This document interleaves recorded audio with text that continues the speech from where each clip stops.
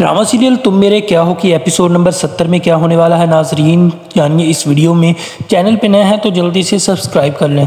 Episode number सत्तर drama serial तुम मेरे क्या हो में आप लोग देखेंगे कि जब जहेब पूछेगा सारा से कि तुम्हारे मामू इंतज़ार कर रहे होंगे चलें, जी हाँ तो जिस पर कहती है, आगे से सारा जुहेब को, मामू को कॉल करके माजरत कर ली है, हम नहीं जाएँगे। जी हाँ तो वो इसलिए मना करती है, क्योंकि जुहेब कहता है कि साथ में ऐशा भी जाएगी, और ऐशा से तो अब बहुत ज़्यादा सारा कुछ चिड़ होने लगी है।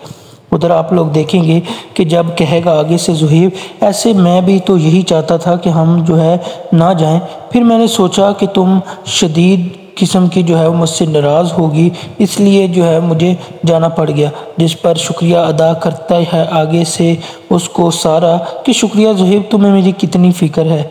उधर आप लोग देखेंगे कि जब सारी रात आयशा जो है वो सारा को तंग करती है तो सुबह जो है वो अपनी माँ को बोलती है सारा कि पूरी रात आयशा ने इतना तंग किया, एक मिनट चुप नहीं हुई। मैं पूरी रात की जागी हुई हूँ ज़रा नहीं कि उसकी आँख लगती हो।